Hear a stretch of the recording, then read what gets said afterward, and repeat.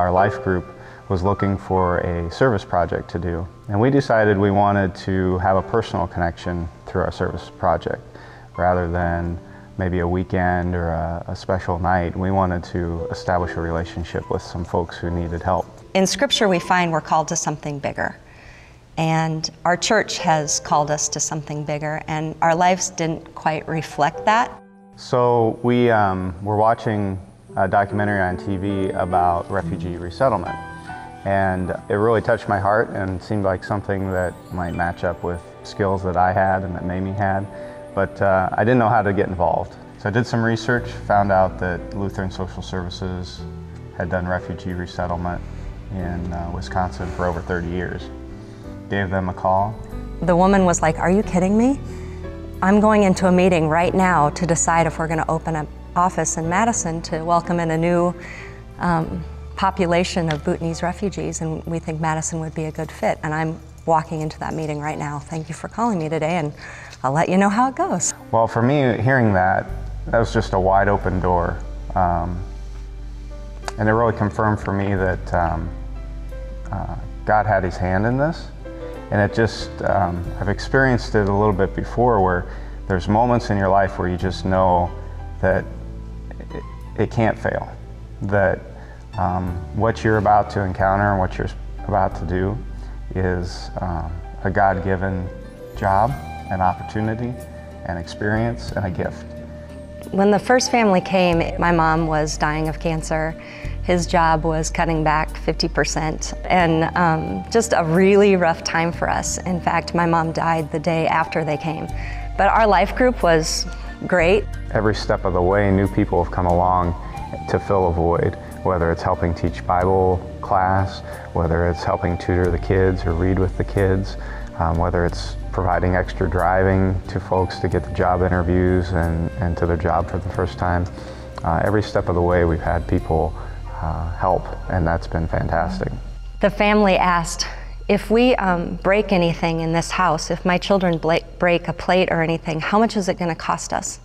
And Jason got to tell, tell them like everything here is yours. Everything here is it, it's completely yours. It's a gift, and it, our, our church, everyone at our church collected this, and it's yours, and, and there's no strings attached. And to see that reaction, they're pretty subdued in their reactions anyway, but Sancho was like, wow, that was a turning point in that relationship with the family yeah. because up until that point, it was a few days before we had that conversation. And up to that point, um, I was a little concerned because there was quite a bit of distance I felt between um, me and the family and LSS. And I wasn't sure if this was how it would be from here on out, but they were being reserved, they were being cautious. They felt that they were um, there maybe temporarily that they had some obligation to please to please us and to meet some expectations that we had. I'm going to be real honest with you. I moved to the country to get away from people. that was my goal.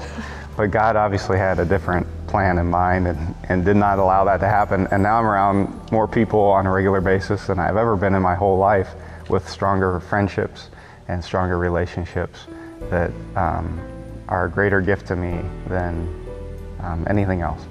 It was in the stepping out and stepping in faith that God just kept bringing in more opportunities. Um, so He's He's given us a great responsibility, but through that comes such a blessing. I can't imagine my life now without the Bhutanese. I can't imagine not having every single one of them in our life. And um, I mean, I think now of their graduations and their weddings coming up and um, just life events that happen with a family because we're, we're family. I guess for me, that was a real gradual process to realize how um, involved and committed I had actually become. I don't know that there was one point where I stepped back and said, What in the world just happened here? Um, it was really a gradual process. Um, I think I knew there was a change in the relationship with the first family when we were having dinner at a friend's house with them and we had a translator. And um, the father said, um, through translation, um, why do you treat us as, as though we're family when you don't even know us? And at that point, we could share with them, well, um, we serve a great God who has blessed us richly and calls us to share that with others. And so we want to share that um, love with you. And based on his response, I could tell that we were entering into a whole new, um, whole new world with that relationship.